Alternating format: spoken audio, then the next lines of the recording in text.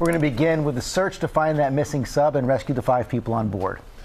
Underwater noises were detected within the search area overnight, a possible sign of hope with less than 24 hours of oxygen remaining in the vessel. Transportation correspondent Gio Benitez is in Halifax, Nova Scotia with the latest. Good morning, Gio.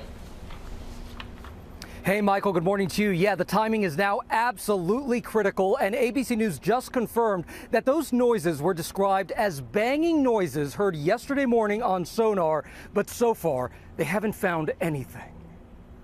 Overnight, word that a Canadian aircraft detected underwater noises in the search area for that missing sub with five people on board, according to the U.S. Coast Guard. But subsequent searches coming up empty as the clock winds down. The vessel, which left Sunday morning on a mission to explore the Titanic's wreckage, starting with 96 hours of oxygen available, now less than 24 hours left. Our crews are working around the clock to ensure that we are doing everything possible to locate the Titan and the five crew members. The US, Canada, and France teaming up to search for any sign of the submersible, scouring more than 10,000 miles of sea.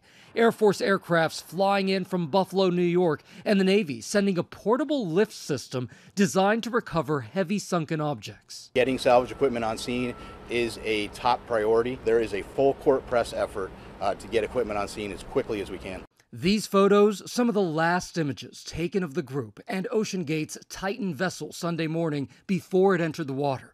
It was last heard from an hour and 45 minutes into its dive, but OceanGate not sounding the alarm for another several hours. The Coast Guard saying they then activated rescue crews immediately.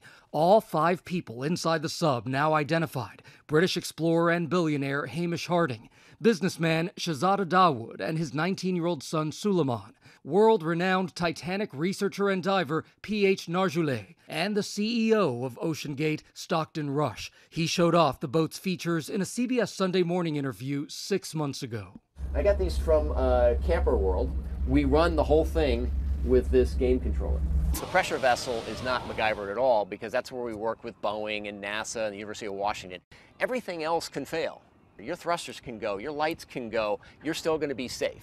The University of Washington telling ABC News they were not involved in the design, engineering, or testing of the Titan. NASA saying they were consulted but did not conduct testing and manufacturing via its workforce or facilities.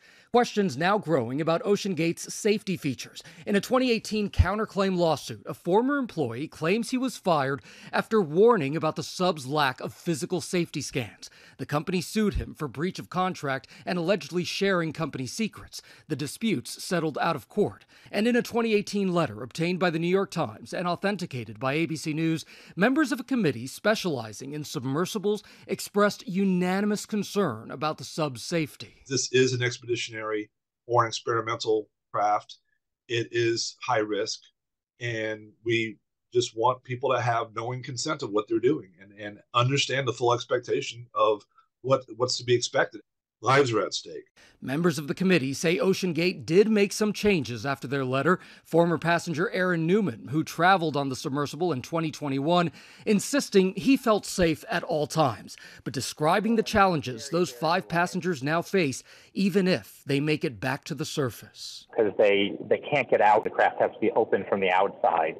Uh, so we're just really hoping they're on the top, they're bobbing around, they're laying there uh, just relaxing and trying to conserve energy and oxygen. Oh my gosh, so are we stuck or what? Former ABC News correspondent Dr. Michael Guillen knows how dangerous the voyage to the Titanic can be. In 2000, an underwater current drove his sub right into the propeller of the Titanic. It was pretty scary, so I'm, I'm very aware of what these poor souls on board the ship, the Titan, are experiencing, and I, I'm just heartbroken about it.